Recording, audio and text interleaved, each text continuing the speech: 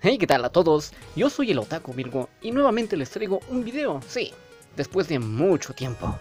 El día de hoy les estaré hablando sobre un anime que pese a que ya tiene tiempo después de haber sido transmitido, aún golpea y duele como no tienes idea. La historia de un joven pianista, su descenso y pérdida al amor sobre este instrumento, y la intervención de una hermosa chica con cabellos color sol, que no solo es una belleza, sino que también es una talentosa violinista. Así es, colegas, les estoy hablando de Shigatsu Wakimi no Uso.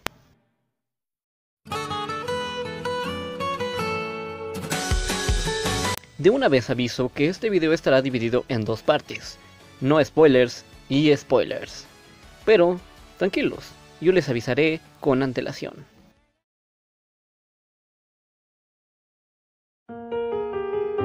La trama nos presenta a un joven pianista que por ciertas situaciones y experiencias vividas terminó dejando de lado al piano. Este chico es Arima Kousei. Sin embargo, él terminó conociendo de no la mejor manera a Kaori Miyazono, una bella chica con cabello rubio, quien a la vez es una talentosa violinista. Con la ayuda de Kaori, Tsubaki y Watari, amigos del protagonista, Kousei intentará volver al mundo musical para encontrarse a sí mismo y superar aquello que lo hizo dejar el piano en un principio. Chopin, このピアノこうちゃんうんそう弾き始めたのねうん差し入れでも持っていこうかしら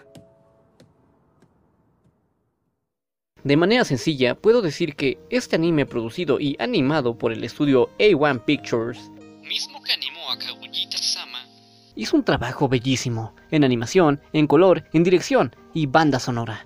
Y sin olvidarnos de los visuales. No puedo dejar de pensar en las maravillas que hizo el estudio con este anime, y realmente es una obra que destaca por la belleza que se expresa en los personajes. Sus gestos, las presentaciones musicales, los cielos llenos de estrellas e incluso en las calles. Los colores usados son una explosión de emociones, colores tan llamativos y tan bien usados en todo momento que sin darte cuenta le dan otra maravillosa y bella perspectiva a los momentos especiales. Y por supuesto, no puedo dejar de lado al aspecto que se lleva el mayor premio, y me refiero al apartado musical.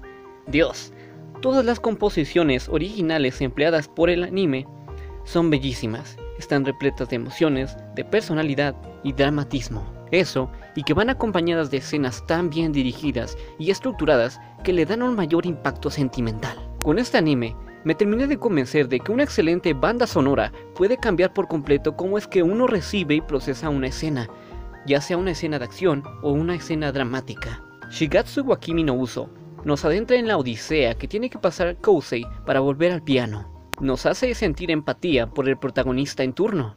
Nos hace vivir experiencias únicas junto a Kousei. Kaori, Tsubaki y Watari son los compañeros de Kousei en este viaje que decidió empezar. Y es interesante ver cómo todo y todos influyen en la personalidad y actuar de Kousei. Un chico herido que a pesar de todo, solo necesita el empuje de una maravillosa chica una maravillosa chica llamada Kaori Miyazono.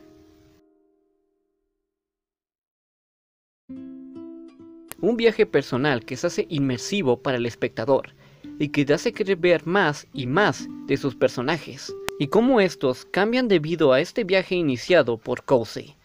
Cómo influye para ellos, cómo incluso cambian sus interacciones, sus estados de ánimo, recordar esos momentos que tal vez uno como individuo pasó en su juventud sin preocupaciones, solo convivir y soñar con tus amigos y amigas. Esa es la belleza de Shigatsu Wakimi no Uso, la interacción, comportamiento y personalidad de cada uno de sus personajes tan únicos y puros. Shigatsu Wakimi no Uso es un anime sentimental, un drama lleno de momentos hermosos, una montaña rusa gigantesca de emociones, de tragos dulces y amargos, pero que al final te deja lo mejor de sí. Eso es Shigatsu wa Kimi no Uso.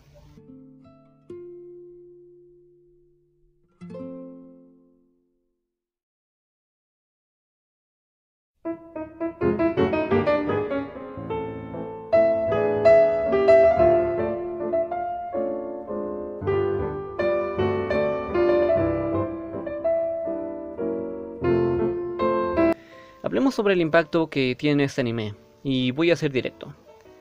El suceso final duele de una manera tan profunda, debido a que desde el inicio Kaori es presentada con una personalidad positiva, una energía y con un brillo único. El ver cómo es que cambia de un día a otro la vida de Kousei, cómo lo hace amar nuevamente la música, amar nuevamente el tocar piano, el superar y comprender lo que su madre quería para él, y el cómo lo ayuda a superar ese obstáculo emocional que le impedía dar todo de sí en el piano. Y Dios, el momento de acompañamiento, el momento en el que Kaori le pide, le ruega a Kousei que sea su acompañamiento, es mucho más desgarrador y emocional cuando llegas al tramo final, a la confesión de Kaori.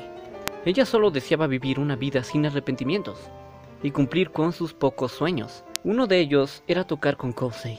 Es doloroso el ver cómo la brillante chica, aquella que quiso sacar lo mejor de nuestro prota, pierde totalmente su brillo. Ese momento fue uno de los que me hizo estar a punto de quebrarme. ¿Ubican esa sensación de encogimiento en el pecho? esos ojos cristalinos que uno obtiene pero que nunca sacan lágrimas. Justo eso me pasó. Y no solo una vez. En serio que este anime es bastante emocional. Y si te encariñas con los personajes, creo que te dolerá mucho más el final.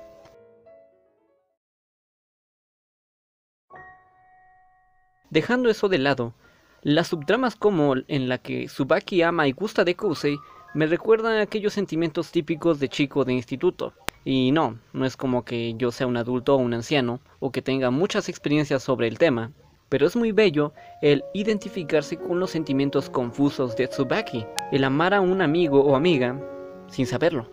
Centrándonos más en el tema y pilar de este anime, puedo decir sinceramente que es una belleza de producción y realmente no puedo creer que haya postergado tanto esta pura y humana experiencia que me hizo vivir Shigatsu wa Kimi no Uso. Mientras escribo este guion para este video, que realmente no sé cuándo estará listo, me encuentro escuchando el original soundtrack de este anime, mientras recuerdo los emocionales y duros episodios número 21 y 22, donde Kaori logra un milagro y se levanta para fingir tocar el violín, donde le ruega a Kousei que no la deje, donde en la presentación de Kousei se materializa una bella chica y que por última vez tocan juntos. Esos momentos tan especiales lograron romperme. Lograron lo que ningún anime había logrado hasta ahora. Lograron hacerme llorar. Como si de personas reales se trataran. Y ese es un punto fuerte del anime. Sus personajes son muy humanos. Tanto que el simple hecho, el simple detalle, de que Kaori le pidiera unos caneles a Kousei, me hizo soltar más de dos o tres lágrimas. Porque el poder y pilar de Shigatsu wa Kimi no Uso no solo reside en la música, en el instrumento, sino en para quién tocas y hacer que tus sentimientos le lleguen a esa persona.